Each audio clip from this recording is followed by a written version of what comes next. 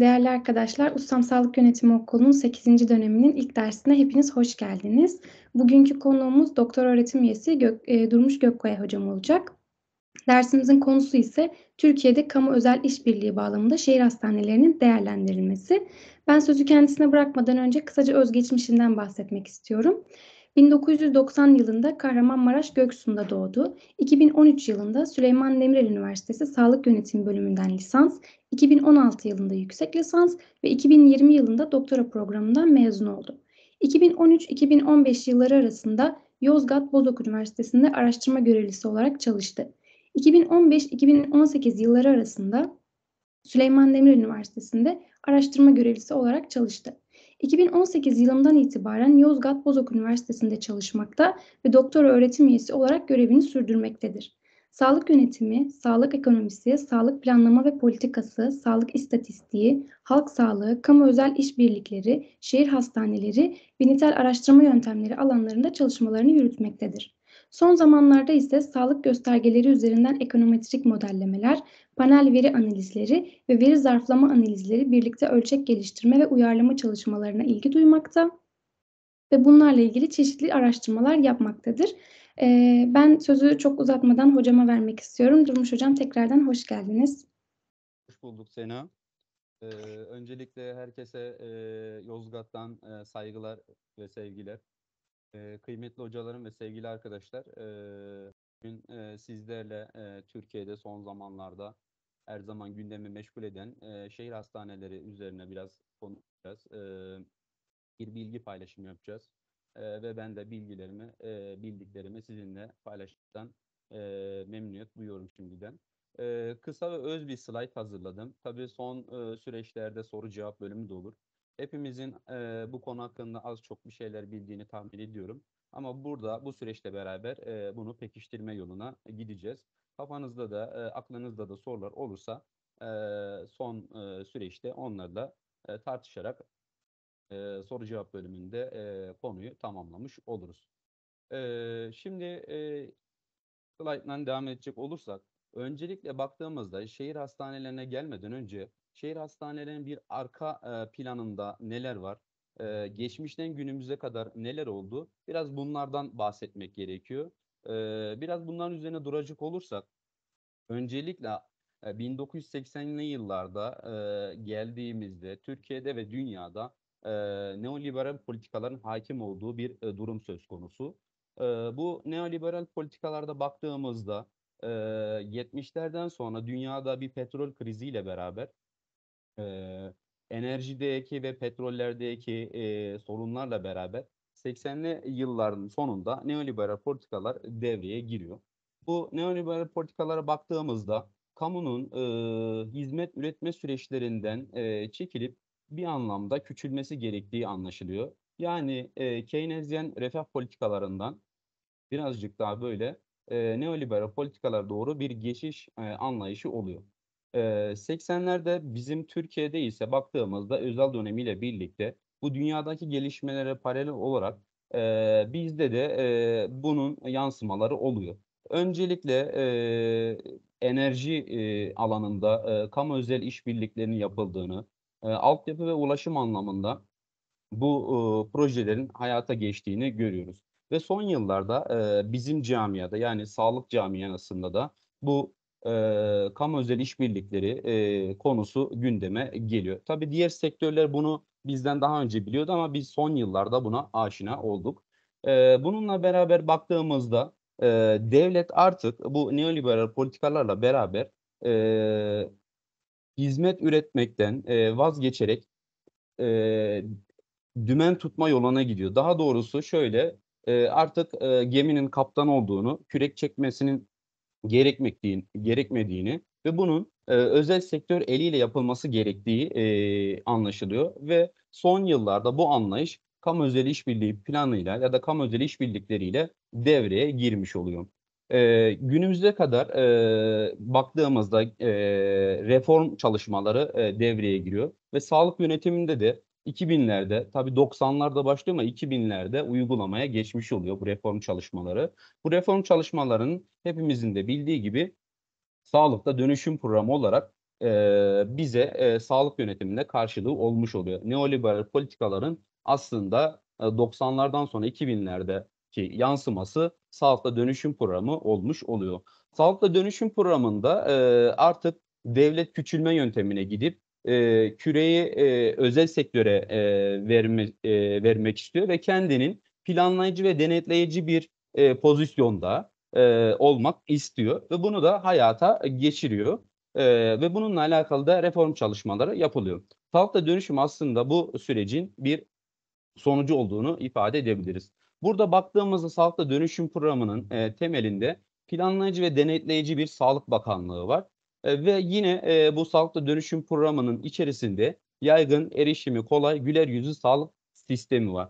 Yine bunun içerisinde de idari ve mali özelliğe sahip sağlık işletmeleri var. Burada e, artık e, Sağlık Bakanlığı kendi e, hizmetlerini özel sektör eliyle e, yürütmek istiyor ve bunu da özellik, kamu e, anlamında özel kurumlar eliyle e, yürütmek istiyor.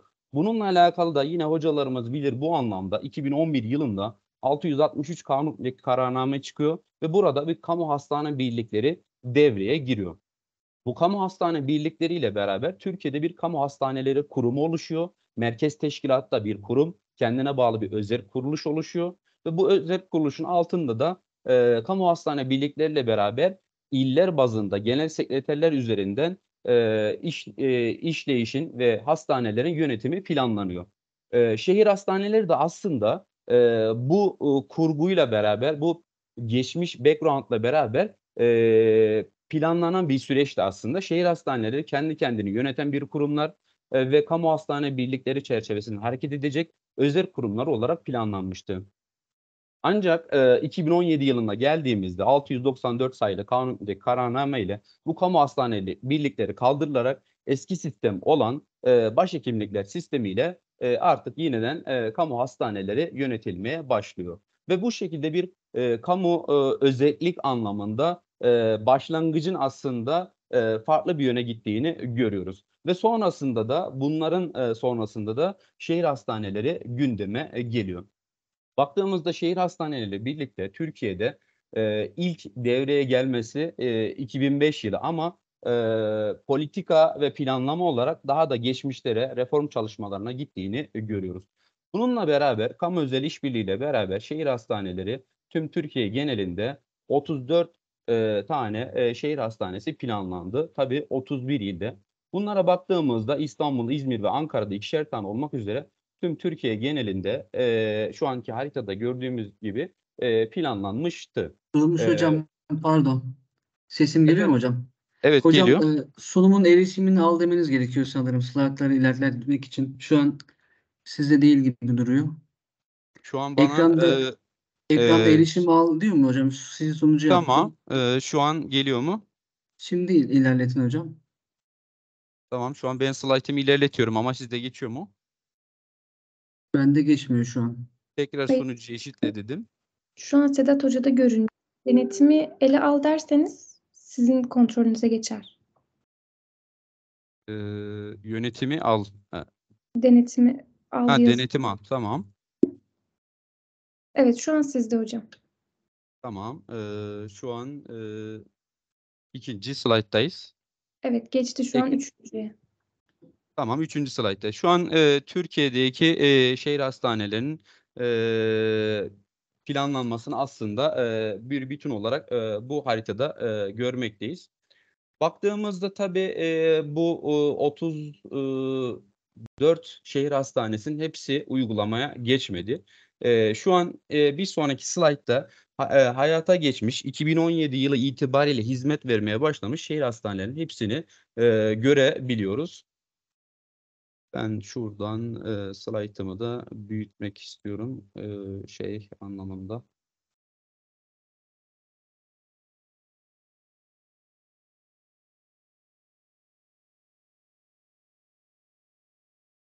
Bir dakika hocam. Şu an e, zannedersem slaytım yansıyor. E, bir bütün halinde e, görünüm olarak büyütmek istiyorum ama slaytı sadece içerik Hocam biz şu an bütün ekranda görüyoruz ama isterseniz 3 noktaya basıp sunucu görünümünü gizle diyebilirsiniz. Ama biz şu an tam ekran görüyoruz. Tamam. Ee, siz de tam ekran görüyorsanız o zaman sorun yok. Bendeki gibi e, görüldüğünü zannettim. Şu an e, tam ekranda e, görüldüğü gibi şehir hastaneleri e, baktığımızda e, 18 tane e, hayata geçtiğini görüyoruz. İlk başta Yozgat, e, Mersin, Isparta, Adana. E, tabii 2017 yılında e, bunlar hayata geçti. Ve bunların e, toplam yatırım tutarları da dolar üzerinden baktığımızda bir hayli mevcut olduğunu, bir hayli yüksek olduğunu görüyoruz. Yine aynı şekilde yatak kapasitelerinde e, şehirlerin durumuna göre, büyüklüklerine göre farklı olduğunu e, görüyoruz. Örneğin Yozgat e, nüfus bağlamında e, küçük bir e, şehir olduğu için 475 yataklı bir hastane yetiyor. Ama Ankara için baktığımızda 3600 ve 3500 yataklı hastaneler olduğunu e, görüyoruz.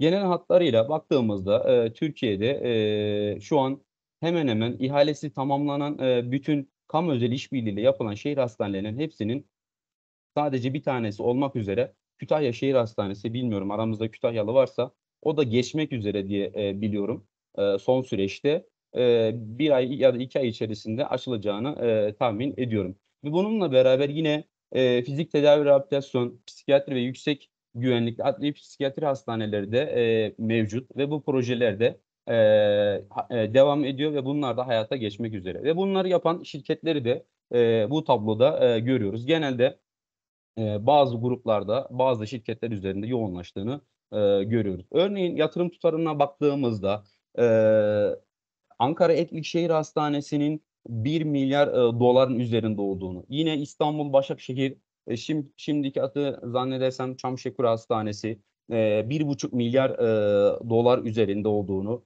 e, görüyoruz ve ciddi anlamda yüksek meblağlı hastaneler bunlar. Peki şehir hastanelerine kamu anlayışı açısından baktığımızda bir tercihin sonucuydu ve bir tercih nedeni vardı. Bunlardan birazcık bahsedecek olursak baktığımızda devletin sunacağı mal ve hizmetlerin yapım işlerinin kamu kısıtlı kaynakları nedeniyle ertelenmesinin veya yapılmamasının önüne geçmek için bu şehir hastaneleri hayata geçirildi. Yani kamu e, benim kısıtlı kaynaklarım var. E, ben e, özel sektörün e, finansman e, kaynağını kullanmak istiyorum. Özel sektör eliyle bu hastaneleri hayata geçirmek istiyorum. Yine e, ikinci olarak baktığımızda özel sektörün hastane işletmeciliğindeki konforunun kamu hastanesinde, kamu hastanelerinde e, yaşatılması ve riskin e, etkin dağıtılması da yine tercih nedenleri arasında. Üçüncü olarak baktığımızda yatırım finansmanı başta olmak üzere kamu yatırımlarından kaynaklanan maliyetlerin azaltılması da yine şehir hastanelerinin e, kamu özel işbirliğiyle tercih edilmesinin altında yatan nedenlerden bir tanesi. Burada kamu kaynaklarının kısıtlı olması e, önemli bir faktör. Özel sektörün işletmeciliğini e, kamuya yansıtılması, yine finansman anlamda destek sağlanılması temel faktör. Ama burada riskin etkin dağıtılması bir soru işareti olarak duruyor e, söyleyebiliriz. Yine e, tesis etmenin nedenleri var. Baktığımızda e, 2000'ler, 2010'lara kadar e, kamu hastanelerinde e, e, bütün vatandaşlar olarak algımızda hastanelerin eski bina olması ve hizmet anlamında hizmetler alırken e, ciddi anlamda binaların ve konforun, hasta memnuniyetinin e, bu anlamda biraz zorluklar çıkardığını, hasta memnuniyetine zorluklar çıkardığını görüyoruz. Bu yüzden de şehir hastaneleri planlanırken e, bunları test etmenin bazı nedenleri de vardı. Birazcık da bunlar üzerinde duralım. Baktığımızda mevcut hizmet veren sağlık tesislerin yenilenmesini sağlamak. Bu şehir hastanelerindeki mantalite buydu zaten. E, yeni bir yatak kapasitesi oluşturma değil, e, olan hastaneleri dönüştürmek maksadıyla yapıldı. Bir şehirde örneğin e, 400 yataklı devlet hastaneleri varsa bu yatak sayısı kadar e, yapılan şehir hastanesi planlandı. Yine sağlık turizmi faaliyetlerinin arttırılmasına altyapı sağlamak. Son yıllarda sağlık turizmi e, önem e, atfeden bir konu ve kamu da buradan kendine pay almak istiyor ve bunu da şehir hastaneleri yoluyla e, planlıyor. Yine hizmetleri kapsamı, niteliği ve niceliği yönüyle bir bütün halinde vatandaşlara sunmak istiyor. Yani bir bütün olarak e, bir vatandaş e, başka bir hastaneye gitmeden e, her yönüyle orada e, o noktada hizmeti almasını planlanıyor. Yine yeterli sayıda nitelikli yatağa sahip e, e, durumları ya da hizmetleri kazandırmak. Burada önemli çünkü baktığımızda şehir hastaneleri e, yapılan hastanelerin e, genelde odalarına baktığımızda bir yataklı ya da iki yataklı en fazla iki yataklı olduğunu görüyoruz. Burada nitelikli yatak e, önemli bir e, durum. Yine tedavi çeşitliliğini ülke geneline yaymak, yine sağlık alanında bölgesel gelişim tamamlamak, hizmetin kalitesini arttırırken maliyet etkin sağlık hizmeti sunmak, eğitim ve araştırma hizmetlerini geliştirmek, e, bunlar e, tesis etme nedenleri. Bunların dışında yine baktığımızda teşhis ve tedavide yeni teknolojileri kullanmak ve konseptleri uygulamak. Yine hasta ateş sürelerini kısaltmak. Yani e, kamu burada e, daha vatandaşlarına daha kaliteli sağlık hizmeti sunmak için şehir hastanelerinin yaptığını gerekçe olarak sunuyor. Yine aynı kampüs içerisinde ihtiyaç duyulan başta tıbbi hizmetler olmak üzere bütün sağlık hizmetlerini entegre bir şekilde sunmak, hastaneler arası hasta naklini azaltmak, yani bu kampüs şeklinde birlikte e, hizmetler verildiği zaman nakilleri azaltmak da aslında bir neden e, olarak sunuluyor. Bunun dışında yine hastane enfeksiyonlarını azaltmak, yeni binalarla, yeni tesislerle bu hastanelerdeki enfeksiyonları azaltmak, hasta güvenliği ve memnuniyetini arttırmak, yine çalışan güvenliği, iş gücü ve hizmet kalitesini arttırmak, sağlık hizmet sunumun performansını yükseltmek gibi e, amaçları e, şehir hastaneleri mevcut. E, baktığımızda e, bu amaçların e, bir kısmının e, hayata geçtiğini e, ve e, çoğunun aslında e, uygulandığını ve vatandaşların e, hizmet alırken şehir hastanelerden memnuniyet durumlarının yükseldiğini görebiliyoruz. Tabii e, şehir hastanelerine bu şekilde bir giriş yaptıktan sonra e, şehir hastanelerini dört boyut üzerinden ya da dört yapı üzerinden ele almakta fayda var. Çünkü bu şehir hastanelerine baktığımızda e, dört unsur üzerinden ya da dört saç ayağı üzerinden e, değerlendirmemiz gerekiyor. Öncelikle hukuki altyapı. E, baktığımızda şehir hastanelerine ilk olarak e, mevzuat olarak 2005 yılında 3359 sayılı Sağlık Hizmetleri Temel Kanunu'na bir ek madde ekleniyor. Ek maddeyle ilk defa e, şehir hastaneleri 2005 yılında gündeme gelmiş oluyor. Ve bununla beraber e, 2005 yılından sonra bu ek maddeyle beraber e, bu e, ek maddeye dayanarak e, bazı ihalelere başlanıyor. İlk ihale Kayseri Entegre e, Sağlık Kampüsü adı altında. Tabii sonradan e, sözleşmelerde entegre sağlık kampüsleri olarak geçiyor ama sonradan e, şehir hastaneleri e, kavramına dönüştü ya da şehir hastaneleri adını aldı. 2009 yılında ihale çıkıyor ve sonra sırasıyla e, biraz önceki bahsettiğim hastaneler ihalesi e, yavaş yavaş çıkıyor ve 2013 yılında e, bunlar e, tamamıyla bitiyor ve 2013 yılından sonra hastanelerin yapım e, süreçleri başlıyor. Baktığımızda e, Sağlık Bakanlığı kamu özel işbirliği modeliyle 34 şehir hastanesi planlıyor. Bunların 18 tanesini e, o dönemde ihale ediyor ve sözleşmeleri imzalanıyor. E, yine 2017 ve 2023 yılları arasında Kütahya hariç 17 şehir hastanesinin hizmete açıldığını e, görebiliyoruz. E, zannedersem e, Kütahya'da çok yakın bir sürede açılacak. Eee, mevzuat olarak baktığımızda eee, aslında mevzuat serüveni çok uzun şehir hastanelerinin eee, ve çok eee, her dönem, her 6 ayda bir, her 3 ayda bir bazı değişiklikler yapıldı ama eee, dayanak noktası iki tane eee, kanun var. Eee, ve bu iki kanun bir tanesi biraz önceki bahsettiğim ve 2013 yılında çıkan eee, daha kapsamlı ve daha ayrıntılı düzenlemeleri içeren eee 6428 sayılı kanun aslında. Bu kanuna baktığımızda Sağlık Bakanlığı'nca kamu özel işbirliği modeliyle tesis yaptırılması, yenilenmesi ve hizmet alınması ile bazı kanun ve kanundaki kararnamelerde değişiklik yapılması hakkındaki kanun. Bu kanunla 2013'te aslında e, ek maddeye e, iptal ediliyor ve bu kanun asıl e, şehir hastanelerinin yapılmasına dayanak oluşturuyor ve e, bu kanunla birlikte şehir hastanelerinin hukuki e, süreci aslında temellendirilmiş oluyor. Yine e, bu kanuna dayanarak 2014 yılında e, 6282 sayılı e, Sağlık e, Bakanlığı'nca kamu özel işbirliği modeliyle tesis yaptırılması, yenilenmesi ve hizmet alınmasına dair uygulama yönetmenliği girerek yapılacak olan şehir hastanelerinin hukuki temelleri e, atılmış oluyor. E, baktığımızda Sağlık Bakanlığı şehir hastaneleri projelerinin e, kamu özel işbirliği modeli kapsamında hayata geçirilmesiyle ilgili sorumluluğu 6400 28 sayılı kanunla üstlenmekte ve yükümlülüklerini yerine getirmek durumundadır. Bu kanun çok ayrıntılı ama e, temel olarak birkaç tanesinden e, bahsederek e, geçmek istiyorum. E, kanunun içeriği ve kapsamı ne baktığımızda içerik olarak kanunla ilgili tanımlar, ilkeler, usuller, yine sözleşme ile ilgili esaslar, e, bedeller, e, yine askeri öz kaynaklar, devirler, istisnalar. Kapsamına baktığımızda yapım işleri, yenileme işleri, yani bu şehir hastaneleri ilgili bütün süreçleri e, kapsıyor. E, danışmanlık işleri, tıbbi ekipman tedariki ve kurulumu e, gibi e, kanun kapsamındaki durumlarda söz konusu olmuş oluyor.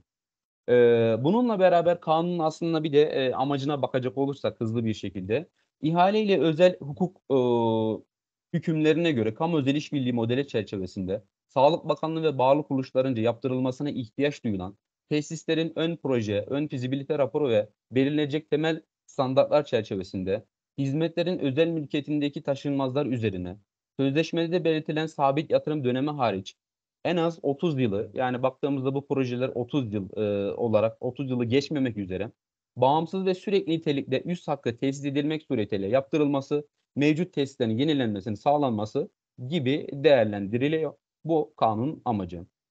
Baktığımızda aslında e, bu kanun e, şehir hastanelerinin temel dayanak noktası olmuş oluyor.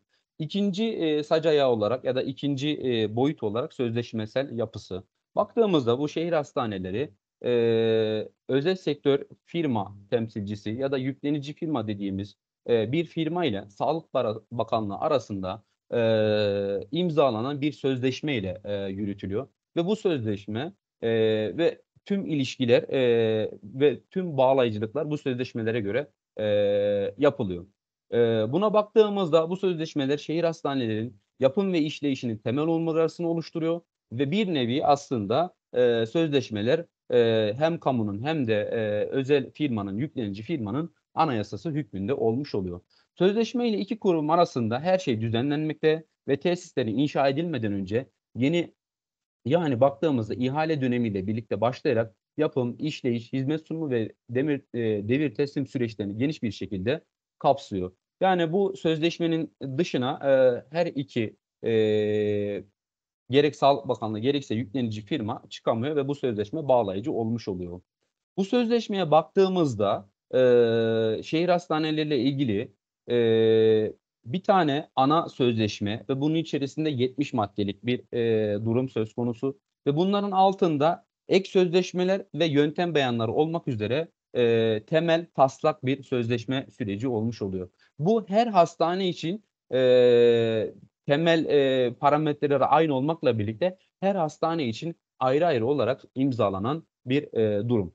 Baktığımızda bu ek sözleşmelere ek sözleşmelere geçmeden önce biraz önce aslında süresini söylemiştim. E, bu şehir hastaneleri e, aslında yap kirala devret modeliyle e, kamu özel işbirliği süreciyle yapılıyor ve bu e, planlamada e, yapım aşamasıyla beraber 30 yıllık bir sözleşmeyi e, esas alıyor.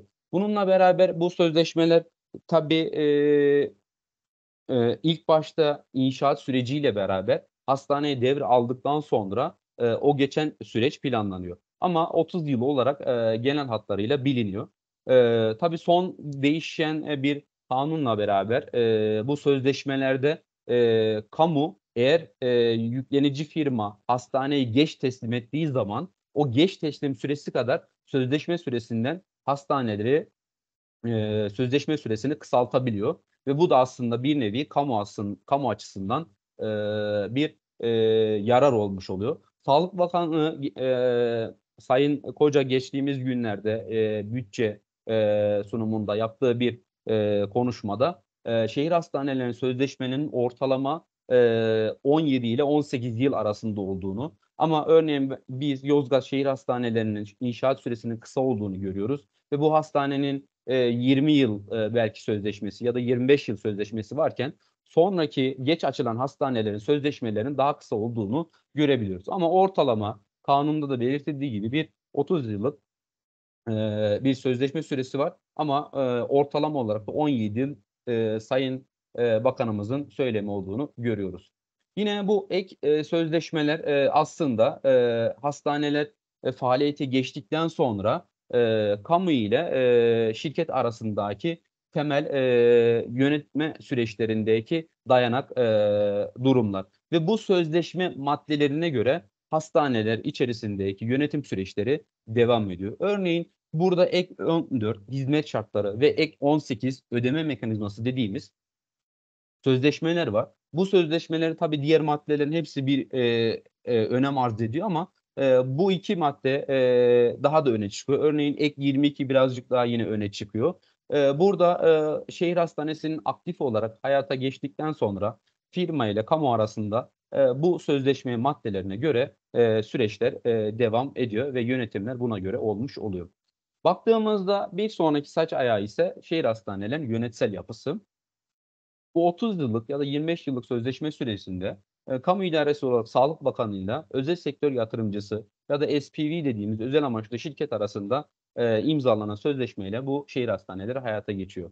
Tabii Sağlık Bakanlığı e, bu plandan önce e, Maliye Bakanlığı, Kalkınma Bakanlığı Hazine Müsteşarlığı vardı. Tabii son süreçte artık bu durumdan hepsi Cumhurbaşkanlığı uhdesinde olmuş oluyor ve Cumhurbaşkanlığı şehir hastanelerin e, yapılmasına karar veriyor. Yine özel sektör e, yatırımcısının altında da baktığımızda arka planında e, uluslararası kreditörlerin olduğunu, yine sadece tek firmanın değil e, firma konsorsiyumların olduğunu ya da birkaç firmanın birlikte e, hareket ettiğini ve bunların dışında da yine hastane hayata geçtikten sonra e, hizmetleri yürütürken e, bazı hizmetleri de alt yükleniciler aracılığıyla e, yürüttüklerini e, görebiliyoruz. Şehir hastanelerinin e, makro boyutta yönetsel yapısını bu şekilde ifade edebiliriz. E, mikro bazda baktığımızda şehir hastanelerinin içerisine e, yüklenici firmanın e, şehir hastanelerindeki 19 kalem hizmeti e, yürüttüğünü görüyoruz. Kamu burada e, çekirdek hizmeti, hekimler ve hemşirelerin aracılığıyla çekirdek hizmeti sunarken e, 19 kalem e, ekranda gördüğümüz bina arazi hizmeti, olağanüstü bakım e, ve onarım hizmeti, yer bahçe bakım hizmeti, ortak yönetim hizmeti, mevzuat hizmetleri, işte P2 hizmetleri dediğimiz temizlik hizmeti, güvenlik hizmeti, otopark hizmeti, hastane bilgi yönetim sistemi, hasta yönlendirme, refakat, kaşıma, resepsiyon, yardım masası, ilaçlama hizmetleri, çamaşır hizmetleri, yemek hizmetleri, atık yönetim, e, sterilizasyon, laboratuvar hizmeti, görüntüleme hizmeti, rehabilitasyon hizmeti gibi bütün hizmetlerine e, baktığımızda 19 kalem hizmetin hepsini e, yüklenici firma dediğimiz firmanın e, yürüttüğünü görüyoruz. Bunun dışındaki kalan çekirdek hizmetleri de kamu e, yürütüyor. Yani en başta söylemiştim. Kamu e, planlayıcı ve denetleyici, e, özel sektör ise aslında hizmetleri yürüten e, kesim olarak e, planlanmıştı. Ve şehir hastanelerinde aslında da bu durum söz konusu olduğunu görüyoruz. E, yine e, yönetim yapısında e, Sağlık Bakanlığı mikro düzeyde e, baktığımızda e, başhekimlikle beraber başhekimliğin karşısında e, e, özel sektör temsilcilerinin ya da CEO'ların olduğunu, e, hastane içerisinde bu 19 kalem hizmeti e, özel sektörün e, yöneticileri yürütürken e, diğer taraftan e, bizim başhekimlik hizmetleri de çekirdek hizmetleri yönetiyor. Ve bunlar haftalık e, toplantılarla e, buradaki şehir hastanenin içerisindeki 19 kalem hizmetteki yaşanan aksaklıklarla yahut da diğer durumları birlikte yürütüyorlar. Ve burada bazen sorunlar çözülmediği zaman bir üst basamak olan Koordinasyon Kurulu ve İl Sağlık Müdürlüğü ile beraber, başhekimle beraber, yine Sağlık Bakanlığı'ndan üyelerle beraber e, yine üst e, şirket ya da üst yüklenici olan SPV şirketi üyeleriyle herhangi bir anlaşmazlık olduğu zaman ikinci basamakta koordinasyon kurulunda bazı sözleşmelerden ya da diğer noktalardan kaynaklanan problemler burada e, çözülebiliyor ve bunlar da yine e, belli periyotlar halinde toplantılar e, yapılıyor.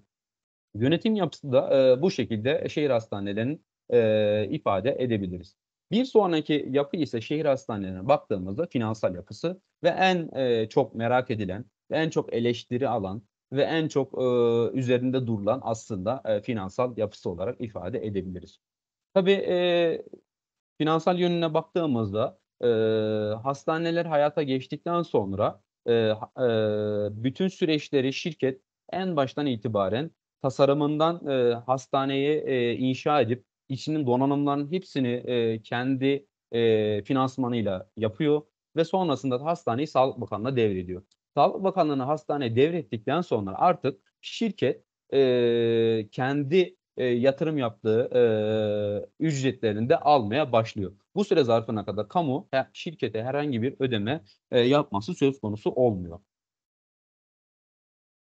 Ee, bununla beraber baktığımızda e, şirkete e, kullanım bedeli dediğimiz aslında kira ödediğimiz e, kira bedeli ve bir de bu 19 kalem olarak hizmet aldığımız hizmet bedeli ödemelerinin olduğunu görüyoruz. Yani iki süreçte ödeme yapıyoruz.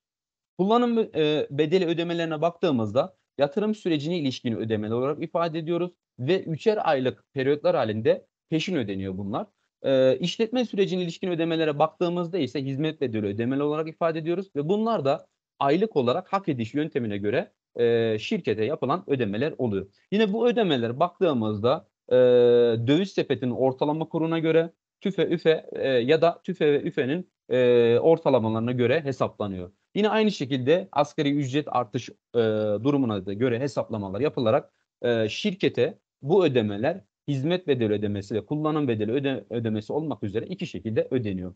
E, burada bazen e, garanti miktarları aşıldığı zaman indirim faktörü dediğimiz Y faktörü devreye giriyor ve burada da e, eğer fazladan bir e, hizmet üretimi süreçli olduğu zaman e, kamu kurumu ya da hata puanları dediğimiz e, özel şirketin hizmet sunamadığında ya da eksik kaldığında kamu e, ya da başhekimlik hata puanı kesiyor şirkete ve o hata puanıyla beraber bazı e, ödemelerde kesintilere gidiliyor. Ve bununla beraber yine doğalgaz, elektrik gibi kamunun e, sunmuş olduğu hizmetlerde de mahsupla, e, mahsuplaşmalar e, yapılmış oluyor. E, baktığımızda bu e, kullanım e, ödemelerine işletme döneminde e, şu an şekilde de gördüğümüz gibi e, kullanım bedeli hizmet ödemeleri var. Bunlar miktara bağlı olmayan e, hizmet ödemelerinde yine P1 ve P2 hizmetlerin içerisinde bina ve arazi hizmetleri, olağanüstü bakım ve onarım, ortak e, hizmetler yönetimi, mefruşat, yer, e, park, bahçe e, gibi durumlar miktara bağlı olmayan hizmetler olarak e, sınıflandırılıyor ve bunların ödemesi buna göre yapılıyor. Yine e, miktara bağlı olan hizmetler var. Bunlar da e, destek hizmetleri ve yine e, klinik destek hizmetleri olmak üzere ayrılıyor. Burada laboratuvar görüntüleme e, miktara bağlı olan hizmetler sınıfına giriyor. Yine aynı şekilde e, çamaşır, yemek, atık e, gibi e, durumlar ise e, baktığımızda e, miktara bağlı hizmet ödemeleri olarak devreye girmiş oluyor. Yine bunlarda da e, baktığımızda yüzde yetmiş e, hizmet e, doluluk e, durumlarının söz konusu olduğunu e, görüyoruz. Ve yine e, miktara bağlı olan hizmetlerde hak ediş, aylık taahhüt edilen garanti tutar üzerinden kullanım sayısına ve kilosuna göre örneğin e, yemeklerde sayı, işte çamaşırlarda kilo e, durumuna göre garanti tutarı açtığında ise e, Y faktör dediğimiz indirimler uygulanarak bunlar ödemeleri şirkete yapılmış oluyor. E, 2019 yılına geldiğimizde şehir hastaneleri ilgili bir e, rota değişikliği oluyor. Şehir hastaneleri 2010 yılında e, Yozgat ve Mersin'de ilk faaliyete geçtikten sonra 2 yıl Sağlık Bakanlığı bir değerlendirme süreci e, olarak yorumluyorum ben bunu. Şehir hastanelerini 2 yıl değerlendirdikten sonra 2019 yılında bir rota değişikliğiyle beraber kamu özel işbirliği modelinden vazgeçiliyor. Ee, normalde ilk başta e, Türkiye haritası üzerinden vermiş olduğum 31 projeden e, baktığımızda on, yapılan ihalesi yapılan 18 hastanenin ihalesi yapılıyor ama diğer geri kalan e, 10 proje e, normal kamu e, ihalesine göre yapılıyor. Yani e, kamu özel işbirliği modelinden vazgeçilip artık genel bütçe kapsamında e, daha önceki hastane e, yapım süreçlerindeki modele geçilmiş oluyor.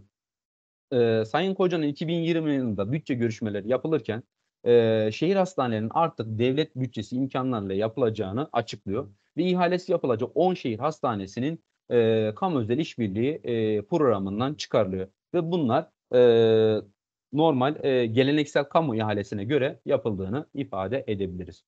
Burada baktığımızda e, genel bütçe kapsamında yapılacak olan şehir hastanelerine e, ortalama 1000 e, ve 1000'in üzerinde olduğunu görüyoruz. Ve bunların da e, ihalesinin yapıldığını ve proje aşamasında olanların da olduğunu görüyoruz. Yine bunların da ihale bedellerini e, karşılaştırdığımız zaman e, kamu özel işbirliği projelerine göre daha ucuz olduğunu görüyoruz.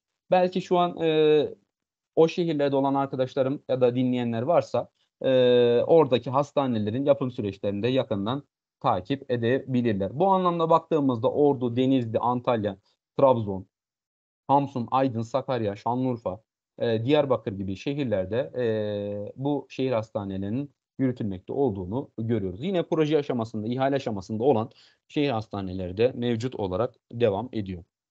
Baktığımızda 2020 yılında aslında e, bir rota değişikliğiyle beraber şehir hastanelerinin konsept olarak devam ettiğini görüyoruz. E, isim olarak devam ettiğini görüyoruz. Ancak finansman olarak kamu özel işbirliği modelinden vazgeçildiğini görüyoruz. Yine e, bunlar e, şirketleri ihale ediliyor ama bizim geçmişte bildiğimiz geleneksel kamu e, ihalesi dediğimiz ihalelerle yapılarak hayata geçmiş oluyor. E, genel hatlarıyla e, şehir hastanelerini bir bütün ve özet olarak anlattığımda e, bu şekilde özetleyebilirim. Sonuç olarak baktığımızda şehir hastanelerinin e, hem avantajlarından hem de dezavantajlarından söz edebiliriz.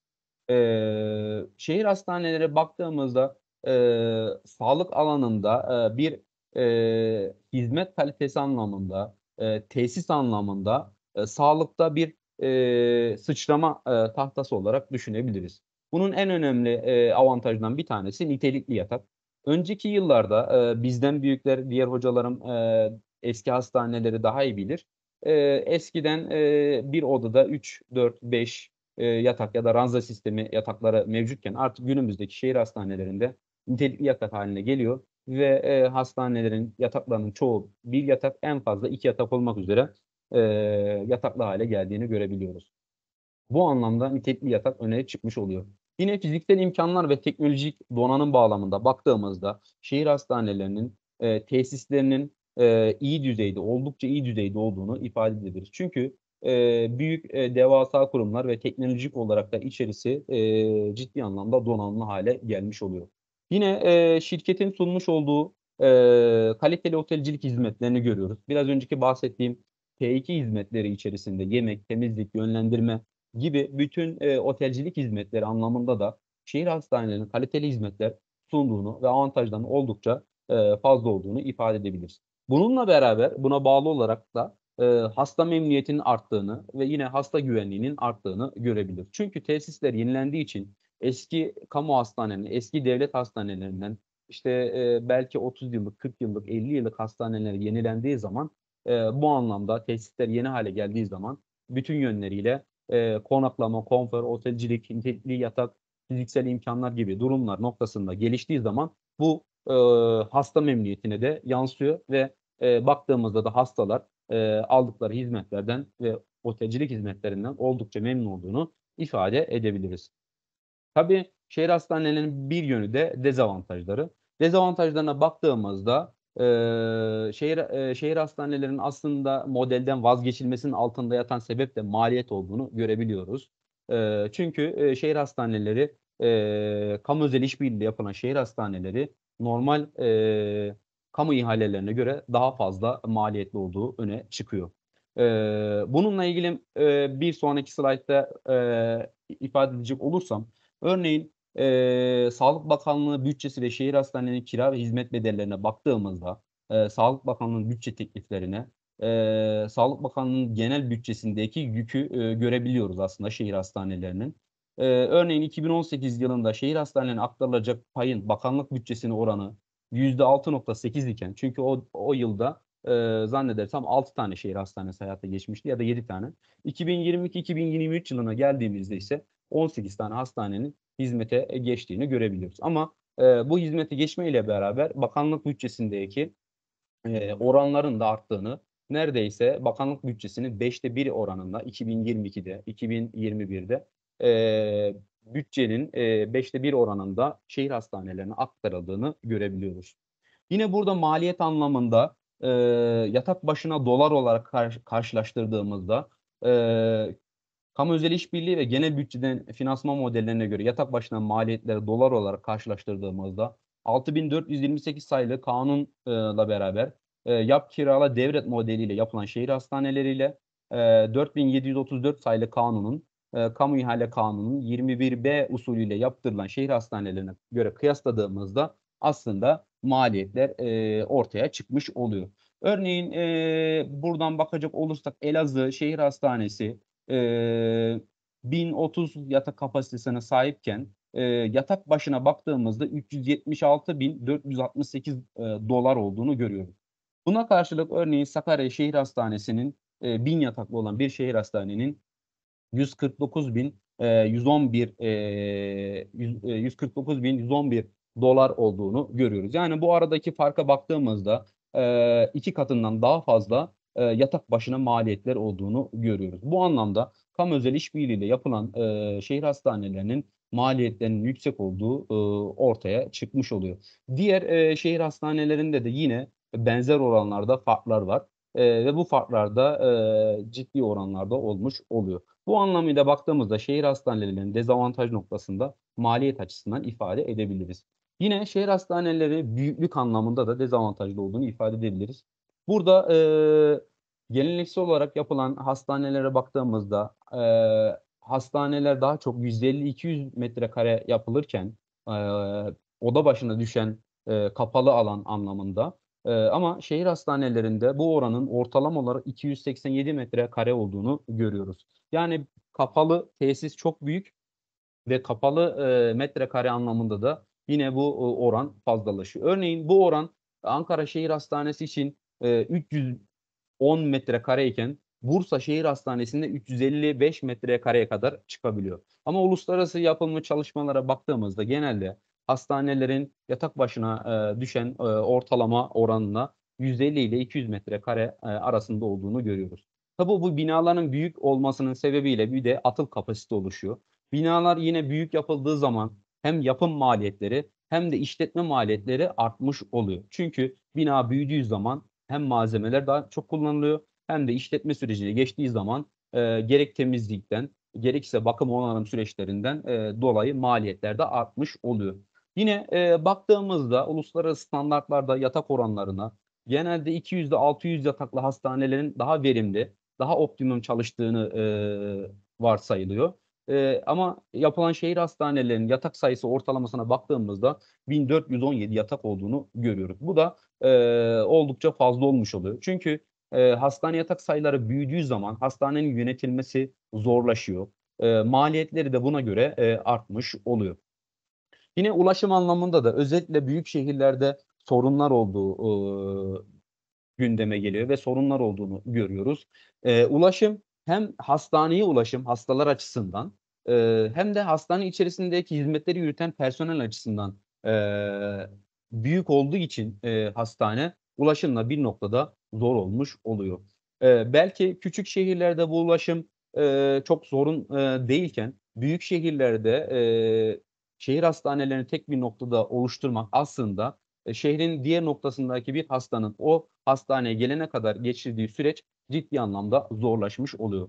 Yine hizmet yürütme, e, yürütme süreçlerinde hekimlerden daha çok duyduğumuz e, e, baktığımızda hastanenin içerisindeki zaman kayıpları olarak, büyüklük olarak konsültasyon zorluğu olduğunu ifade ediyorlar. E, hatta bu konsültasyona karşı blokta olduğu zaman gidemediğini ve bunu telefon üzerinden yaptığını ifade ediyorlar. Yine dezavantajları olarak şehir hastanelerinde sözleşmelerden ya da diğer noktalardan Sayıştay raporlarına yansıyan durumlar söz konusu. Ee, örneğin e, yansıyan bir tane örnek verecek olursam e, Elazığ e, Şehir Hastanesi'nde e, tüp bebek ünitesi ya da tüp bebek tedavisi olmamasına rağmen sözleşmede olduğu için şehir hastanesinin e, sözleşmesinde olduğu için e, kamu e, şirkete e, bu üretilmeyen e, ya da verilmeyen hizmetin sözleşmede olduğu için e, ücretini ödemeye devam ettiğini görüyoruz. E, yine e, baktığımızda bazı ödemelerde de e, bu sayıştay raporlarına yansıyan durumlar söz konusu oluyor. E, bu anlamda da e, olumsuz noktalar devreye girmiş oluyor. Yine sözleşmeler bağlayıcı olduğu için e, ve bunun dışına da çıkılmadığı için bazı durumlarda da e, kamunun e, bağlayıcılığı söz konusu olmuş oluyor ve kamu bazen bu noktada dezavantajlı olmuş olabiliyor.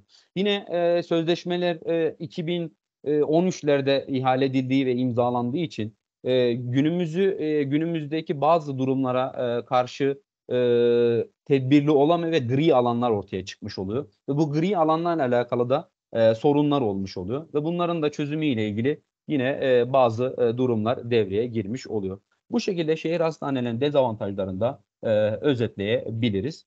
E, maliyetler açısından da e, biraz önceki göstermiş olduğum tablolar ve Sağlık Bakanlığı'nın bütçesi üzerindeki e, durumları da bu tablolar üzerinden e, görebiliriz. Örneğin e, 2022 yılında e, 116 milyar TL olan Sağlık Bakanlığı'nın bütçesinde şehir hastanesine kira ve hizmet bedelleri olarak e, 21 milyar e, TL olarak ödemenin olduğunu ve bunun da e, bakanlığın bütçesinin 5'te 1 bütçesine denk geldiğini e, görebilmekteyiz. E, bu oranda oldukça fazla olmuş oluyor. E, genel hatlarıyla şehir hastanelerinin değerlendirmesini bu şekilde ifade edebiliriz. Beni dinlediğiniz için teşekkür ederim. Evet, e, çok teşekkür ederiz Durmuş Hocam. Maşallah e, böyle bir saat gibi bir süre içerisinde e, e, şu anda en çok gündemde olan, en çok tartışılan e, bir konuyu e, avantaj ve dezavantajlarıyla ve süreci de özetleyerek bize e, aktarmış bulunuyorsunuz. O yüzden size çok teşekkür Evet, hocam. ediyoruz. Ben teşekkür Evet, ederim hocam. e, Sena soruları alabiliriz. Mutlaka e, bu konuda çok sorusu olan e, hocalarım vardır, arkadaşlar vardır, genç katılımcılar vardır. Evet, e, s- isteyen e, el kaldırarak ve sesini açarak soru sorabilir. Ayrıca chatten de soruları sorabiliriz. Chatten de yazarak sorabiliriz. Evet, buyurun. Chat'ten yazdıklarınızı da ben direkt iletebilirim okuyarak. Onun dışında direkt mikrofonunuzu açarak e, söz alabilirsiniz hocalarım.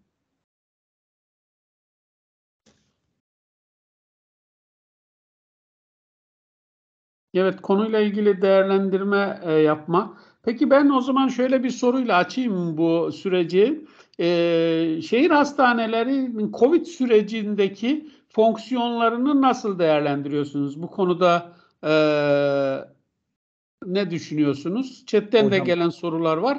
Onlara da şey yaparsın. Ben bir açayım anlamında bir soru sormak istedim. Evet. Hocam Covid e, sürecinde e, yoğun bakım yatakları öne çıktı E, ve bu anlamda şehir hastanelerinde de yoğun bakım e, ünitelerinin etkili olduğu, teknolojik olarak altyapısının sağlam olduğunu görüyoruz ve bu anlamda Covid sürecinde e, şehir hastaneleri e, pozitif olarak ülke sağlık sistemine katkılar yaptı. Çünkü neden? Teknolojik donanımı fazla, e, hasta yatakları ona göre daha donanımlı, cihazlar ona göre daha donanımlı ve bu süreçte e, Covid sürecinde e, sağlık sistemine, vatandaşlara, e, kamuya olumlu yansımaları olduğunu görüyoruz. Bu anlamda e, sağlık hizmetleri e, dünyada diğer ülkeler tabii zorlanırken yoğun bata, e, yoğun e, e, bakım yatağı sayısı açısından e, sorunlar yaşarken e, bizim ülkemizde bu anlamda e, daha olumlu süreç işlendi. Evet Sena, say Evet. sorular var. Onları oku istersen. E, Fatma Gül Bozdağ hocam demiş ki genel olarak şehir hastanelerinde yatak doluluk oranları nasıl? diye bir O soruyor. şehir hastanelerinin yatak doluluk istatistiklerine tam anlamıyla vakıf değilim ama e, hizmetler sürecinde baktığımızda e, P2 hizmetlerinde %70 e, doluluk ya da hizmet alma garantileri söz konusu. E, yani genellikle e, yatak sayısının doluluk oranında yüksek olduğunu tahmin ediyorum ben. E, bunun Peki bu garantileri doldurabiliyor mu? Hangi hastanelerde mesela garantilerde doldurulamadığı için ödeme yapılıyor? Mesela tüp bebek ünitesini Elazığ'dan örnek verdiniz. Ee, hocam bununla alakalı şimdi şey, e, şehir hastanelerinin sözleşmeleriyle alakalı siz de biliyorsunuz e, kamuoyuyla paylaşılmıyor e, bu sözleşmeler. Biz de ödemelerin ne kadar olduğunu aslında e, bütçelerdeki yapılan ya da bakanlığın bütçe sunumlarından ya da Cumhurbaşkanlığı'nın e, strateji ve bütçe e, başkanlığından aldığımız verilerle e, görüyoruz. Bunun dışında e, kamuoyuyla zaten bu ödemeler e, paylaşılmıyor. E, baktığımızda şehir hastaneleriyle alakalı e, doluluk oranlarıyla alakalı sorun o- olmadığını görüyoruz. Yani %70 oranların arttığını. Ancak Sayıştay raporlarında e, sözleşmelere e, yansıyan eksik durumlar var. Örneğin e, şirket tarafından tüp bebek hizmetinin sunulması gerekiyor. Ama e, bu hizmet açılmamış. Bu hizmet sunulmuyor şirket tarafından. Ama sözleşmede olduğu için de bunun ödemesi yapıldığını sadece rapor olarak e, Sayıştay raporuna yansıtıldığı kadarıyla görüyoruz biz. Ama e, ödemeler noktasında e, ne kadar ödendiğini, neler olduğunu tam vakıf değiliz hocam. Te- Teşekkür ederim. Ee, hocam chatten devam edeyim isterseniz. Emine Caygın hocam ve Safa Şahin hocam teşekkür etmiş. Onun dışında Mehmet Nurullah hocam da e, 18 hastane için toplamda kaç milyar dolar ödeyeceğiz diye sormuş. Ee, Evet, güzel bir soru. Ee, Nurullah Hocam, e, baktığımızda e, onunla da alakalı e, tam bir net bir e, hesaplama yok. Çünkü 2042 yılına kadar e, zannedersem bu ödemeler devam edecek. Tabii Profesör Doktor Uğur Emek var Başkent Üniversitesi'nden. Bu şehir hastanelerinin e, iktisatçı kendisi. Ödemelerini çok yakından takip ediyor. Aynı zamanda köşe yazarlığı yapıyor. Onun hesaplamaları var. E, bu hesaplamalara dayanarak e, bu şehir hastanelerinin e, sonucunda 81 milyar e, dolar e, ödemelerin çıkacağını e, söylüyor. E, sadece onun hesaplamaları var. Ama dediğim gibi temel rakamlara ve ödemelere aylık, yıllık olarak biz ulaşamadığımız için e, 2040 yılında ya da bu hastanelerin devir sürecinde toplam olarak ne kadar e, ödeyeceğimizi net olarak göremiyoruz. Ama yıllık olarak Sağlık Bakanlığı bütçesinden şehir hastanelerine ayrılan payların üzerinden e, hesaplamalar yapılarak e, Uğur Emek Hoca'nın e, yapmış olduğu hesaplamalarla 81 milyar dolar olarak yatırımlara baktığımızda toplamda e, 11 milyara tekamül ediyor. 18 şehir hastanesinin yatırımı. Ama ödemesi olarak da e, 81 milyar dolar olarak e, hesapladığını e, söyleyebilirim Uğur Emek Hoca'nın. Tabii orada yatırım artı bir de kira artı şey de var değil mi? Sadece kira Evet. mı 81 milyar dolar? Yoksa diğer hizmet alımları da var mı? E, hocam ikisi beraber toplam e, 81 milyar ol- olarak hesaplıyor. Ee, hocam diğer sorulardan devam ediyorum o zaman. Ee, Aslı Kaya hocam sormuş. Şehir hastanelerinin kurulmasıyla sağlık sektörüne çıktıları neler olmuştur? Başarılı bir model midir bu Türkiye için? E, hizmet sunum açısından e, otelcilik hizmetleri anlamında, tesis anlamında başarılı bir model. Ama maliyetler açısından baktığımızda ise e, dezavantajlı bir model. Çünkü e, şehir hastanelerinin giderleriyle e, belki daha fazla sayıda e, hastane yapmamız mümkün. E, biraz önce yatak başına düşen e, dolar olarak karşılaştırmasını yaptım. E, normal ihaleyle yapılan bir Ordu Şehir Hastanesi'nin yatak başına düşen maliyetiyle bir e, Elazığ'da yapılan şehir hastanesinin yatak başına düşen maliyet ciddi anlamda e, arasında fark oluyor. E, bu fark da aslında maliyetten kaynaklı. E, ki Sağlık Bakanlığı'nın bence modelden vazgeçilmesinin altında yatan sebep de bu.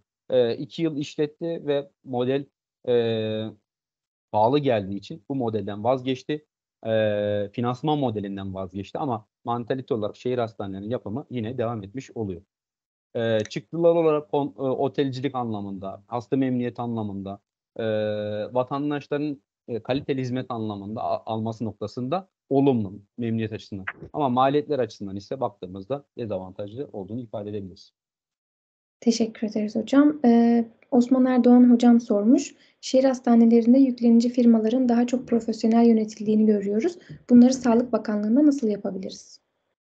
E, şehir hastanelerinin e, yöneticilerinin daha profesyonel olduğunu mu? Evet, yüklenici firmaların daha profesyonel yönelt- yönetildiğini söylemiş. Bunun Sağlık Bakanlığı'nda nasıl yapılabileceğinden, yapılabileceğine yönelik bir soru sormuş. Bunu şöyle yapılabilir. Ee, kamu hastanelerindeki yöneticilerinin e, pozisyonu çok sık değiştirilmemesi lazım. Ee, çünkü e, oradaki bizim yöneticilerimiz de e, sözleşmelere e, hastane e, faaliyete geçtiği andan itibaren ele alıyorlar ve sözleşmeleri e, okuyarak ya da uygula, uygulama safhasında öğrenerek hayata geçiriyorlar. Tabii şirket bu anlamda sözleşmelere yöneticilere daha hakim olduğu için o anlamda biraz daha avantajlı konumda duruyor. Ee, bununla alakalı e, kamu e, yöneticilerinin çok sık yer değiştirildiği zaman, sözleşmeye hakim olmayan bir çalışan personel geldiği zaman tekrardan o sözleşmeye hakim olması lazım.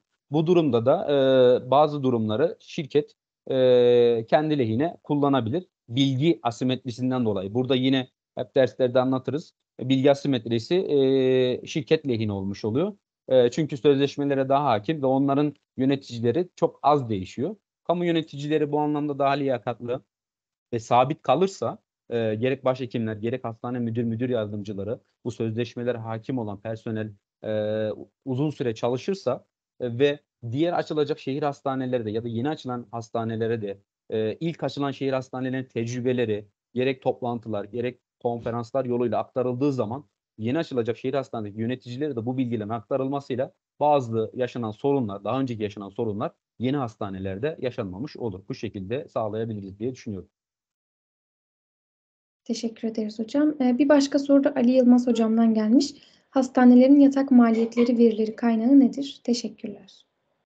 Ee, bunu e, Çiğdem Toker'in e, yeni çıkan 2022 yılında çıkan e, kitabı var e, hocam, Ali hocam. E, o kitaptan e, e, derleyerek ben oluşturdum. E, ve aynı zamanda e, bu konuyla alakalı e, yine aldığım verilerde Sağlık Bakanlığı'nın bütçe, e, strateji ve bütçe başkanlığından aldım verileri. E, ama maliyet başına e, düşen, yatak başına düşen maliyetler dolar bazındaki hesaplanmalar ise e, Çiğdem Toker e, yazmış olduğu kitaptan e, derleyerek oluşturdum. Ee, bir başka soru da hocam Nursena Malkır hocamdan gelmiş.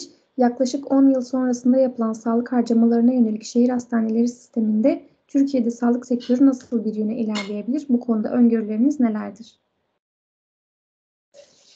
Anlayamadım Sena hocam. Bir daha bir kesildi ses. Tabii. Yaklaşık 10 yıl sonrasında yapılan sağlık harcamalarına yönelik şehir hastaneleri sisteminde Türkiye'de sağlık sektörü nasıl bir yöne ilerleyebilir? Bu konuda öngörüleriniz nelerdir? Ee, baktığımızda e, şehir hastaneleriyle beraber ister istemez e, 10 yıl sonra e, bütçe artmaya devam edecek ödeneklerle beraber. Bu yüzden de Sağlık Bakanlığı'nın bütçesinin arttırılması gerekiyor ve yıllar bazında da bu artış devam edecek. Ki zaten 2018 yılından itibaren de, de görüyoruz bunu. Ee, Sağlık Bakanlığı bütçesi e, her yıl artarak devam ediyor. Çünkü e, giderler de o anlamda artıyor. Ee, sadece şehir hastanelerinin bütçesi değil ya da şehir hastanelerinin giderleri değil. Ee, Türkiye'de onların dışındaki ilçe, diğer devlet hastaneleri, e, bütün hizmetlerin e, ödemeleri söz konusu. Artan enflasyon oranları, e, dolar buna, buna bağlı olarak da e, giderler artıyor. Sağlık Bakanlığı'nın bütçesi de e, zaten e, genel bütçeden aldığı payla beraber bu oranlar artarak e, devam ediyor. E, bunu da e, genel bütçeden Sağlık Bakanlığı daha fazla para ayırarak aşabilir. Yani ne kadar genel bütçeden fazla pay alırsa e, o kadar daha rahat eder ve hizmetleri o şekilde daha iyi planlar diye düşünüyorum. Teşekkür ederiz hocam. Ee, yine Mehmet Nurullah hocam başka bir soru sormuş. Ee, dolar bazlı ödemelerde ilaçtaki geri ilaçtaki geri ödemedeki geri belirlenen bir döviz özür dilerim. Dolar bazlı ödemelerde ilaçtaki geri ödemedeki gibi belirlenen bir döviz kuru var mıdır? e, ilaçlarla alakalı bir döviz kuru yok ama sözleşmeler e, döviz kuruna bağlı olduğu için yani e, yani dolardaki de enflasyon e, dolardaki artma durumuna göre e, ödemeler de buna göre zaten a- artıyor. İlaçlarla alakalı öyle spesifik bir ödeme söz konusu değil. E, kullanım ve e, kullanım giderleri ve hizmet giderleri bir bütün olarak e, zaten e, kur bazlı olduğu için e, kurun artışına göre de zaten o e, hizmet e, maliyetler de artarak e, ödemeler o şekilde gerçekleşiyor. E, Nurul şey e, Duruş hocam bir farklı bir şey sordu aslında. Hani ilaç ödemelerinde e, bir kur var. E, kurdaki değişikliklerden etkilenmeyen, uzun süreli sabit tutulan ve normal kurun epey de altında bir kur belirlenmiş. Onun üzerinden ilaç ödemeleri yapılıyor. Acaba diyor burada kurumlar e, e, yani şirketlere, yüklenicilere ödemelerde de böyle bir e, oluşturulmuş hocam, bir kur var mı sö- yoksa cari kur üzerinden mi ödeniyor? Yok Aslında hocam bir oydu anladığım kadarıyla. evet, İlaçta e, 14 TL'ymiş yani 1 euro. Şu anda ilaç ödemeleri 14 TL üzerinden ödeniyormuş. Ali hocam, Hocam- bu arada o bilgiyi paylaştı. e, hocam şehir hastanelerinde öyle bir e, sabitleme ya da öyle bir durum söz konusu değil. Tamamen e, cari kur üzerinden e, ödemeler devam ediyor. Yani öyle bir sabitleme söz konusu değil. yani. Hocam Mehmet Nurullah hocam el kaldırmış. İsterseniz mikrofonunuzu açıp direkt konuşabilirsiniz hocam. Sayın hocalarım merhabalar. Sesim geliyor mu hocama? Geliyor hocam. Ee, Sedat hocam merhabalar. Durmuş hocam e, ağzınıza sağlık. Çok teşekkür ederim. Ee, ben Sağ bir soru daha sorayım müsaadeniz olursa. Bu daha doğrusu bir duyum aldım ben. Sosyal Güvenlik Kurumu'nda bir çalışan bir SGK uzmanı arkadaş söyledi. Ee, global bütçeden e, Sosyal Güvenlik Kurumu Sağlık Bakanlığı'na aktardığı miktarla ilgili şöyle bir çalışma yapmışlar. Acaba tahakkuk edilen miktar ile işte ödenen miktar arasında ne kadar fark var diye yaklaşık %50'ye yakın daha fazla ödeme yapıldığını iddia etti arkadaş. Yani şunu söylemeye çalışıyorum. Diyelim ki global bütçe 80 milyar TL. Bunun 40 milyar TL'si aslında tahakkuk edilmiş, e, şey yapılmış. Faturaların miktarı bu kadar. Geriye kalan miktar da işte sosyal e, sosyal güvenlik kurumuna Sağlık Bakanlığı bütçesine aktarılıyor. Acaba şöyle bir şey yapılıyor olabilir mi acaba? Bu global bütçeden fazla kesilen miktarlar bu e, özel bu si- şehir hastaneleri projelerine aktarılıyor olabilir mi acaba? Ya da böyle bir senaryo sizin aklınıza yatkın geliyor mu?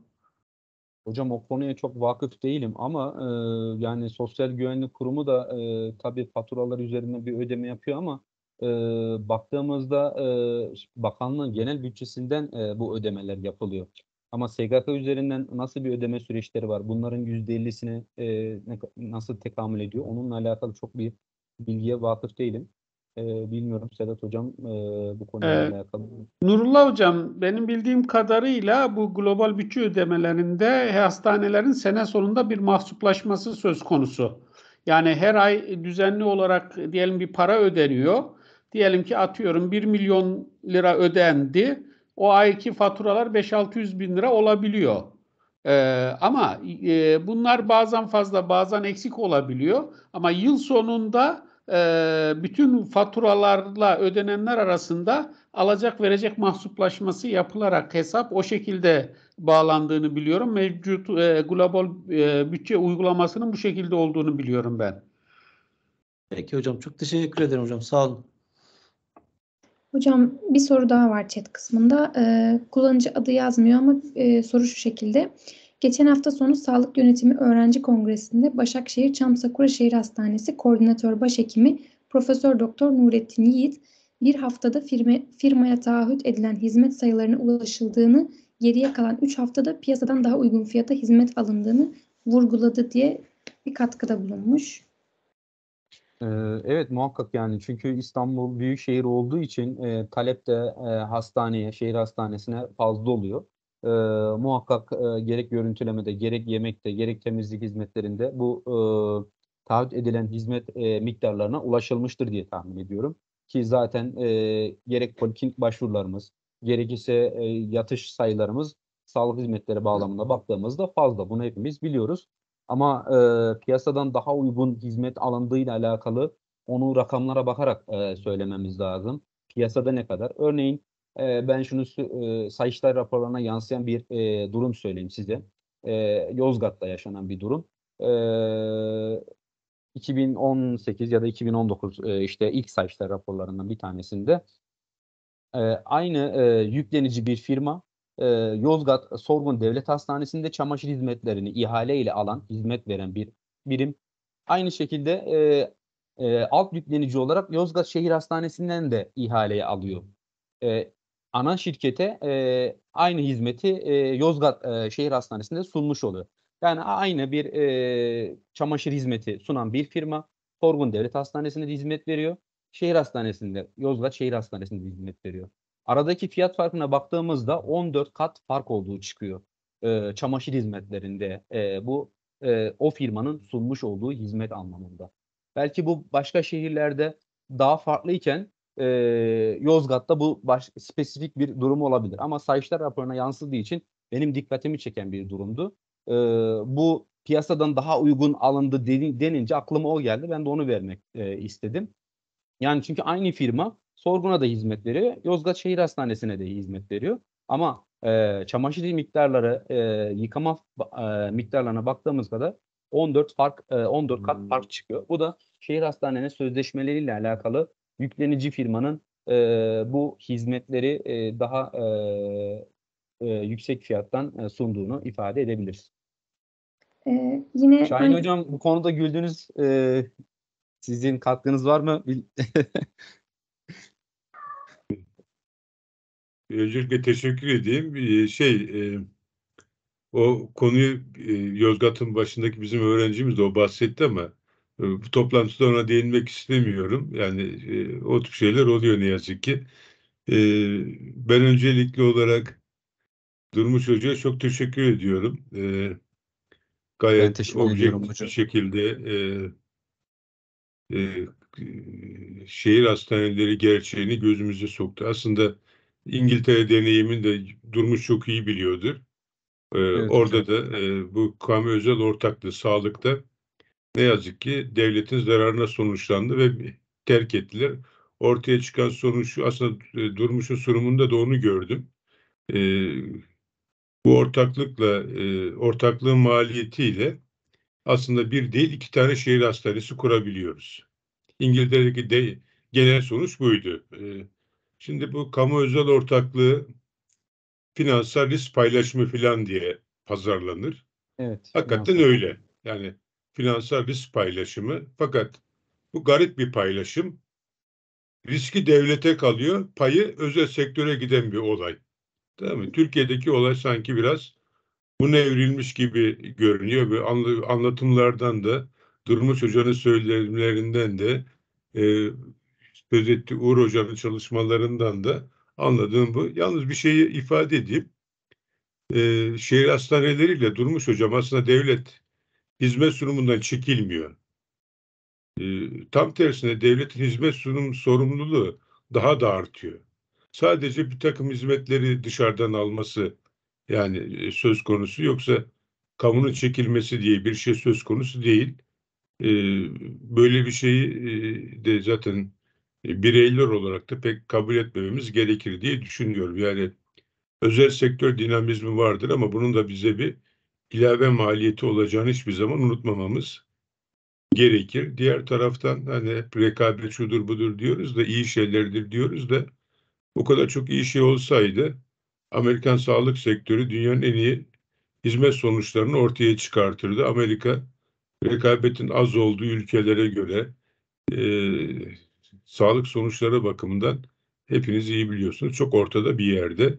E, bunu da dikkat etmek ya da dikkat almamızda yararlı olacağına inanıyorum. Pandemi bahsetti. E şimdi bu pandemi işi e, evet şehir hastanelerinde pandemi vakaları buraya yönlendirildiği için hep gündeme geldi. E, şehir hastanesi olmayan yerlerdeki hastanelerin de rolü yok muydu? Vardı. Yani hep bunu konuşuyorlar. Pandemideki rolü filan gibi. Bu e, yaşadığımız bu ortaya çıkan bana göre kötü sonuçların tamam mı? e, bir pembe e, şekilde gözümüzün boyanmasına yol açıyor. Hiç de öyle değil. Hacettepe Üniversitesi Hastanesi'nde de bütün yoğun bakımlarda herkes özveriyle çalıştı. Başkentte de çalıştı. Pandemi hastanesi ilan edildiği için orada yığılma oldu. Evet. Pandemi hastanesi ilan edilmeseydi aynı şeyi söyleyecek miydik? Söylemeyecektik. Pandemi hastanesi seçildiği için bunlar e, gündeme geldi. Onu ifade edelim. Ha yoğun bakım yatak sayısı fazlaydı şu olabilir. Ama bu e, burada anlatılanların bize yüklediği mali sonuçlar bakımından e, içimizi çok da ferahlatacağını düşünmüyorum açıkçası. Durumu çocuğa tekrar teşekkür ediyorum. Ben e, kendi Ben adıma. Bilmediğim birçok şeyi öğrendim. E, rakamları hani e, bir yerde gizlilik varsa orada bir şeyler de var gibi düşünürüz hep. Evet o, o gizli perdesini büyük ölçüde araladı. E, kendi adıma çok e, teşekkür ediyorum. Ben teşekkür ediyorum hocam değerlendirmeniz için. Estağfurullah. Hocam chat Ben bir kısmı. soru sorabilir miyim? Tabii hocam buyurun. Ali hocam buyurun. Teşekkür ederim Durmuş Hocam. Gerçekten Şahin Hocam da vurguladı. Ee, Çok e, şey öğrendik. Ee, Çarpıcı rakamlar vardı ortada. Ben onun için verileri sordum. Evet. E, Ben bir başka noktaya dikkat çekmek istiyorum. Bu hastanelerin yönetim modeli. Şimdi e, eksiksem e, belki mevzuata epeydir bakmadığım için hatalı da söylüyorsam lütfen düzeltin. Yataklı tedavi kurumları işletme yönetmeliği hala yürürlükte Evet mi? hocam. ve bu hastaneler için geçerli. Bakanlık Evet. tarafında bu var. Ve hastaneler sonra e, Cumhurbaşkanlığı kararnamesiyle bir koordinatör başhekim atandı. İki Evet. tane mevzuat var elimizde. Bakanlık tarafında. Evet. Başka bir mevzuat yok. Şey, yönetim açısından. E, diğer tarafta ise şirketin kendi e, yönetim tablosu var. Şimdi bu kadar büyük hastanelerde bu kadar farklı branşlar, farklı yapılar, E, Bilkent Şehir Hastanesi'nin toplam alanı 2 milyon metrekarelik bir alandan bahsediyoruz. E, işte günlük e, hasta sayısı 100 binin üzerinde. Çam Sakura 100 binin üzerini aşmış durumda e, İstanbul'da. Şimdi böyle büyük bir organizasyonda nasıl bir yönetim modeli olmalı? Asıl bence e, mali taraf tamam burada rakamlar konuşuyor. Ama yönetim modeli bence bu değil. Bu şekilde buraları bir koordinatör başhekimlik e, şimdi başhekimlerle koordinatör başhekim arasında yetki çatışmaları var. Yetkileri net değil. Ben bir hastaneyi yönetiyorum ki benim üstümde de bir başka başhekim var. Bu az önce sizin ifade ettiğiniz 663'teki çatışmanın benzeri şu an burada da yaşanıyor. Yukarıdan geliyor koordinatör başhekim. E, altta bir yönetim daha var. Bunların çatışması kamu tarafında. Nasıl bir yönetim modeli olması lazım? E, siz bu konuda e, ne dersiniz? Ben benim şahsi fikrim bu yönetim modeli kamu tarafında e, ciddi sorunlara yol açıyor. Hocam eee, yani ben eee, çalışmalarımda şunu gördüm. E, Bir şirket yöneticisiyle de görüştüğümde de bunu gördüm. Hastane binalarının biraz önceki bahsettiğim dezavantaj noktasındaki büyüklük. Eee, bu eee, olumsuz yani yönetim açısından da işi zorlaştırıyor. Yani biz yöneticiyiz. Eee, baktığımızda eee, Ankara Şehir Hastanesi 9 bloktan oluşuyor ve 9 bloğun hepsi birbiriyle e, bağlantılı ve ciddi anlamda ifade ettiğiniz gibi bunun yönetilmesi çok zor. E, bir de e, hocam çift başlılık olmuş oluyor. Biz yönetim teorilerinde e, her zaman e, bir yerde bir çift başlılık olduğu zaman bir tarafta özel şirket bir tarafta kamu. Hastane içerisinde e, evet sözleşmeler bağlayıcı ama çift başlılıkla beraber bazı sorunlar da gündeme geliyor. Kamu tarafında ise bahsettiğiniz gibi koordinatör başhekimlik ve onun altında diğer yöneticiler. Bu anlamda bununla alakalı nasıl bir çözüm e, getirilir?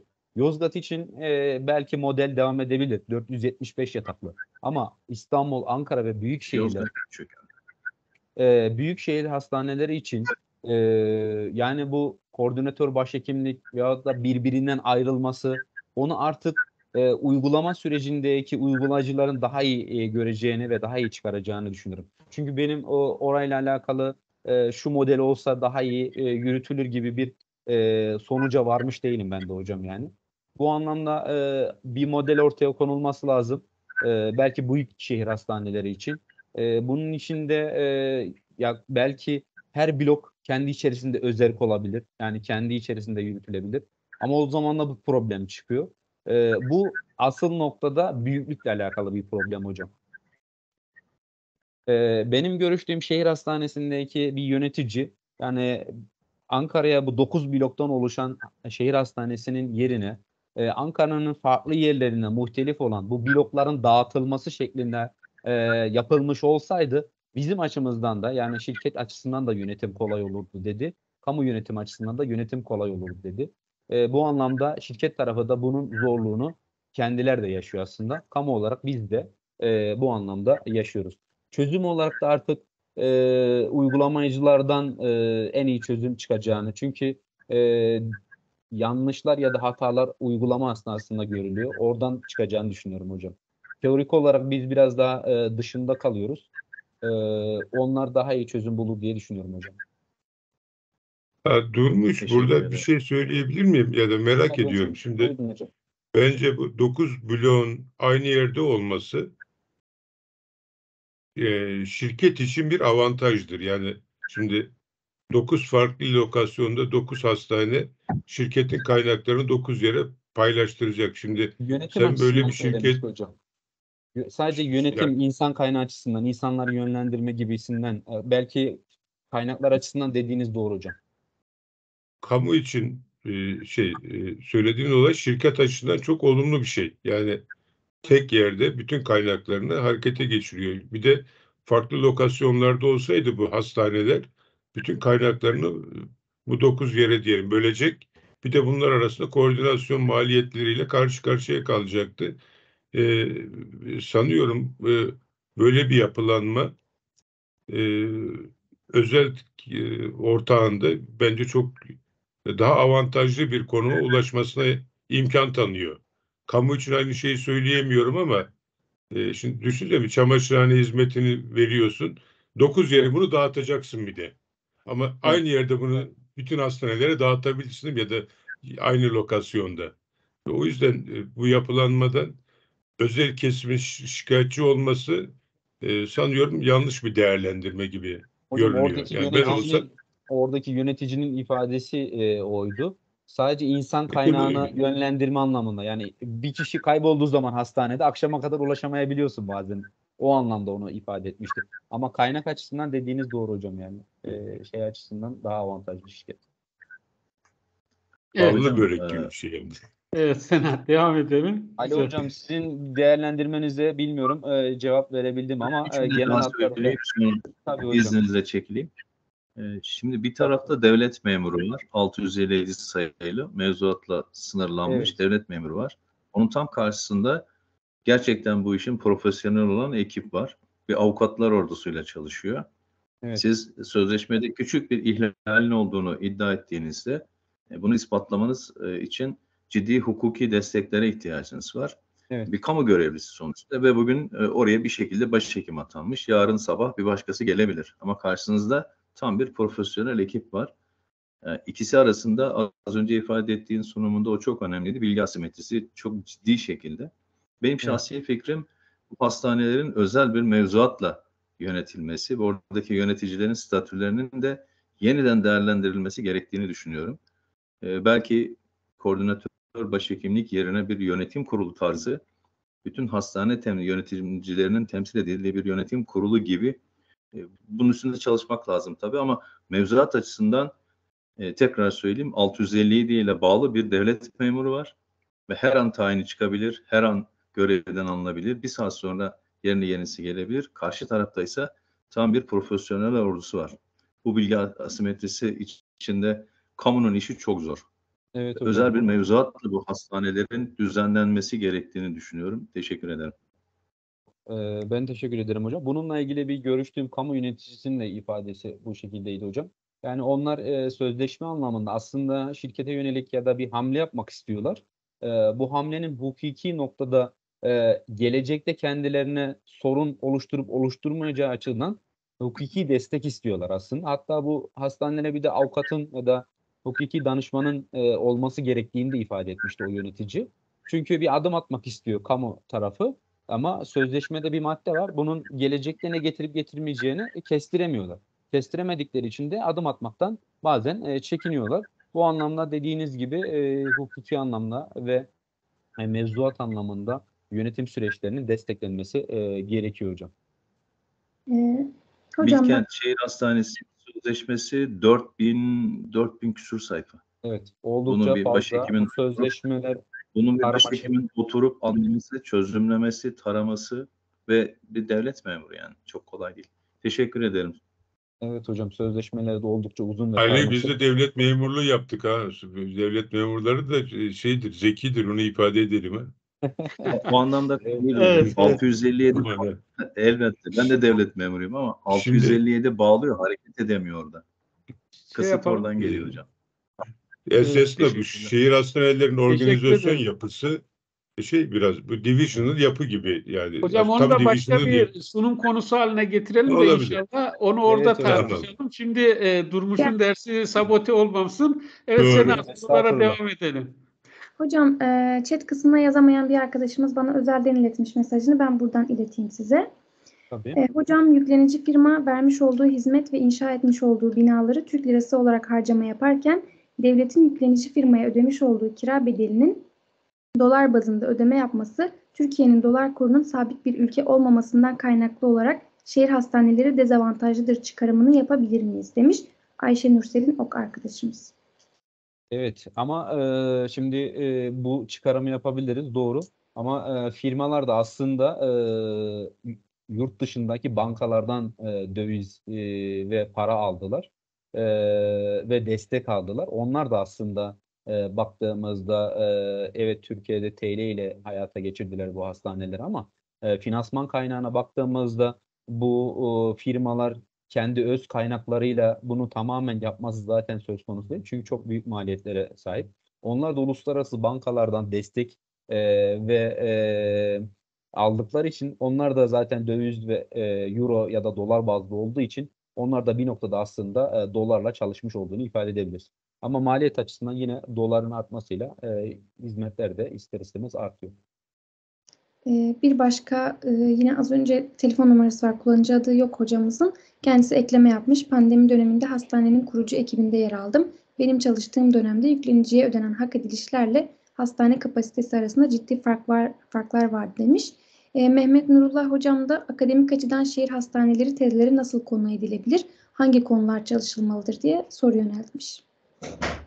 Ee, ödenen hak edilişlerle hastane kapasitesi arasında ciddi e, farklar var. Bilmiyorum. Belki o çalıştığı hastaneyle alakalı spesifik olarak e, o durum olmuş olabilir ama bunu her hastaneye yaymak ya da her hastanenin hak edilişleri arasında e, bu kadar farklar var mıdır bilmiyorum yani. E, bunu o özel hastane ya da çalıştığı hastane bazlı bakabiliriz. E, diğer açısından e, Nurullah Hocam'ın yazdığı akademik açıdan şehir hastaneleri tezleri nasıl konu olabilir? Hangi konular çalışılabilir? Biraz önce aslında Ali Hocam'ın söylemiş olduğu yönetsel yönü e, belki e, çalışılabilir bu anlamda. Yine e, finansal sürdürülebilirliği noktasında eğer e, rakamlar açısından e, ulaşılabilir ve gelecekle alakalı daha iyi net tespitler ve tahminler yapılırsa gelecekte ne kadar bütçemiz var, ne kadar ödemelerimiz var bundan karşılaştırması yapılabilir. Yine e, yani baktığımızda e, şehir hastaneleri ilk açıldığı andan itibaren hastaların bir memnuniyet durumu oluyor. Memnuniyetler üzerinden çalışılabilir. E, yine e, şehir hastanesindeki çalışan personel açısından e, baktığımızda onlar da bazı durumlarda bu büyüklükten ya da diğer yönlerden şikayetçi olabiliyorlar. Onların memnuniyetler açısından çalışmalar olabilir. E, yani aslında e, gündemimizi meşgul edecek şehir hastaneleri e, önümüzdeki yıllarda da. Çünkü bu sözleşmeler bitip kamuya devredilene kadar bu hastaneler aslında gündemimizde olacak. Bununla da alakalı da e, bilgi birikiminin olması, akademik çalışmaların olması, e, sadece şehir hastanelerine yönelik çalışmaların çıkması elbette e, katkı yapacaktır. Alana da, akademiye de, uygulayıcılar olarak şehir hastanedeki çalışan yöneticilere de muhakkak güzel bilgiler çıkacaktır diye düşünüyorum. Bu söylediğim yönleriyle de şehir hastaneleri üzerinde tezler, çalışmalar e, yapılabilir. Teşekkür ederiz hocam. Son olarak da yine e, Şahin hocam tam tersi hastane doluluk oranı yoğun bakım üniteleri dışında düşüktü diye ekleme yapmış e, bir hocamız. Onun dışında şu anda e, chat kısmında bir soru yok. Hocam eğer sorulusu olan varsa alalım. E, yoksa süremizi aştık. İsterseniz yavaş yavaş bitirebiliriz. Evet, e, bütün katılımcılara çok teşekkür ediyoruz. Hususan e, Durmuş e, hocamıza çok te- teşekkür ediyoruz. Çok güzel, e, karmaşık bir konuyu çok net bir şekilde, e, iki yönlü bir şekilde ortaya koydu. Bilimsel olarak, kanıta dayalı olarak, rakamlara dayalı olarak. E, bu anlamda çok teşekkür ediyoruz. Ve e, Şahin Hocam ve Ali Hocama da yaptıkları katkılardan dolayı çok teşekkür ediyoruz. Diğer soru soran bütün hocalarımız, genç arkadaşlarımıza da. Ee, ve böylece e, 8. dönemde Sağlık Yönetimi Okulu e, tekrar e, bir bizi bir araya getirdi. İnşallah belli aralıklarda e, yine Sağlık Yönetimi Okulu'nda derslerimize e, devam etmeyi planlıyoruz. E, sizlerin de katılımlarını bekliyoruz. Bu arada bunun hazırlanmasında emeği geçen e, Osman hocamıza, Ahmet hocamıza ve Sena'ya ve Halil hocamıza e, da çok teşekkür ediyoruz. Bayağı geniş bir ekip çalışıyor. E, Birçok şeyi bir araya getirmek gerekiyor. E, ekipteki bütün arkadaşlarıma da özverili çalışmalarından dolayı teşekkür ediyorum. Hepinize çok teşekkür ediyorum. Evet son söz senin Sena her Biz zaman olduğu gibi. Hocam Şey, ben bir de de sunumları teşekkür- paylaşabilir misin Durmuş bizimle? Tabii hocam ben Sena'ya zaten yönlendirmiştim. Ee, Ali hocam ben de paylaşırım. Ee, yönlendiririm inşallah sunumları. Seviniriz canım. Çok teşekkür ederim. Çok teşekkür Tamam Şahin hocam. Çok Ee, teşekkürler. Ağzınıza Ben sağlık. de çok teşekkür ediyorum e, sizlere. Bugün e, bu akşam birlikte e, bilgi paylaşımında bulunduk. E, sizlerden de e, geri bildirimler aldım. E, çok sağ olun, çok teşekkürler. E, umarım e, daha başka konularda birlikte olmak dileğiyle. Çok sağ olun, e, çok teşekkür ederim. Sena, sana da ayrıca moderatörlüğün için teşekkür ederim. Ben teşekkür ederim hocam. Sedat hocam size de çok teşekkür ederim güzel sözlerin için.